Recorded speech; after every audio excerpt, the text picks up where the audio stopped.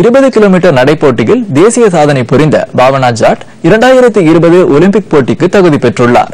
ராஞ்சியில் இன்று நடைபெற்றுள்ள தேசிய சாம்பியன் போட்டியில் இவர் இருபது கிலோமீட்டர் நடைப்பிரிவில் இந்த தூரத்தை ஒரு மணி இருபத்தி ஒன்பது நிமிடம் ஐம்பத்தி நான்கு நொடிகளில் கடந்து புதிய தேசிய சாதனையை நிகழ்த்தினார். இந்த சாதனை ஒலிம்பிக் போட்டிக்கு தகுதி பெறும் ஒரு மணி முப்பத்தி ஒரு நிமிடம் என்ற அளவை விட குறைவாக உள்ளதால் இவர் ஒலிம்பிக்கிற்கு தகுதி பெற்றார். இந்த போட்டியில் பங்கேற்ற பிரியங்கா கோஸ்வாமி தூரத்தை ஒரு மணி முப்பத்தி ஒரு நிமிடம் முப்பத்தி ஒன்பது நொடிகளில் கடந்ததால் முப்பத்தி ஒன்பது நொடி வித்தியாசத்தில் ஒலிம்பிக் வாய்ப்பை தவறவிட்டார்.